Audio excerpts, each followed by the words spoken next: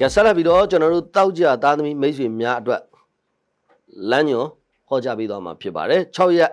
အော်တိုဘာလ2024တနင်္ဂနွေနေ့ကနေပြီးတော့12ရက်အော်တိုဘာလ2024စနေနေ့အထိတပတ်တာအတွင်း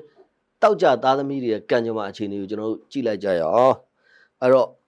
ဒီရင်ကုန်ပြောရှင်တားတော်ပေတွေကိုစဉ်းစားမပြတ်တောက်လျှောက်ကြည့်ရှုအားပေးလာကြတဲ့နော်မကြီးမညူပဲနဲ့ကြည့်ရှုအားပေးလာကြတဲ့မိတ်ဆွေတူတယောက်ချင်းစီကိုအထူးကျေးဇူးတင်ပါတယ် တစုံတရာကောင်းကျိုးတွေဖြစ်နိုင်ကြပါစေเนาะအဲ့တော့ပြီးခဲ့တဲ့ကာပြီးခဲ့တဲ့တပတ်မှာကျွန်တော်တို့ရိုက်ကွေးနဲ့ပတ်သက်လို့နည်းနည်းလေးကတိလင်းတာနိုင်သွားတာတွေရှိပါတယ်အဲ့တော့ကျွန်တော်တို့ရေဘေးကိုသွားပြီးတော့ကူညီတာတွေထောက်ပံ့တာတွေကိုယ်တိုင်သွားလုပ်တဲ့အတွက်ဒီဘက်မှာနည်းနည်းလေးလက်ခသွားတာတွေเนาะအဲ့နည်းနည်းလေးရိုက်ကွေးနဲ့ပတ်သက်ပြီးအခက်ခဲလေးတွေရှိသွားပါတယ်เนาะတစ်ဖက်မှာသွားပြီးတော့ကျွန်တော်တို့ကူညီတဲ့အတွက်ဒီဘက်မှာဒါမျိုးလေးတွေတော့ဖြစ်သွားတာပေါ့နော်အဲ့တော့ဒီတစ်ပတ်မှာတောက်ကြသားသမီးတွေအနေနဲ့ကတော့အနှဲငယ်ကန်ဆိုးနေတဲ့တဲမှာပါဝင်နေပါတယ်ဘယ်လိုတွေကန်ဆိုးမလဲဆိုရင်တော့ဒီတစ်ပတ်မှာ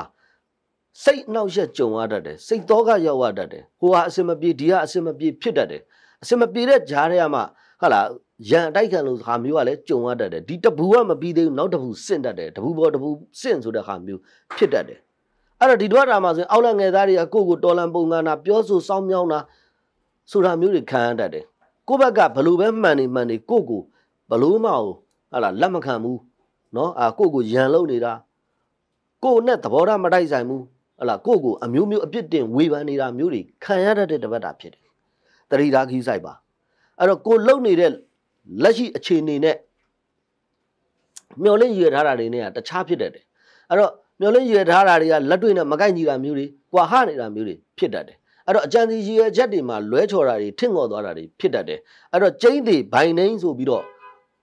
ဖြစ်ကိုဖြစ်ရမယ်ဆိုတော့ဟာလာအရေးကြီးတဲ့ငွေကြေးကိစ္စတွေအရေးကြီးတဲ့အလုပ်ကိစ္စတွေဆိုရင်မလုပ်ပါနဲ့။ ဟလာလွဲကြော်ထင်ငော့ကုန်တတ်တယ်ဂျန်အခက်ခဲတွေဖြစ်ကုန်တတ်တယ်ဆိုတဲ့သဘောဖြစ်ပါတယ်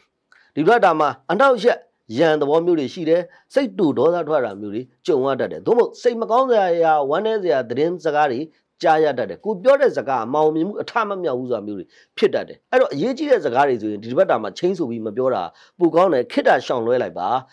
နောက်တစ်ခုဒီတစ်ပတ်မှာဆိုလို့ရှိရင်အရေးကြီးတဲ့ခရီးကိစ္စတွေလုပ်လို့မရဘူးအာ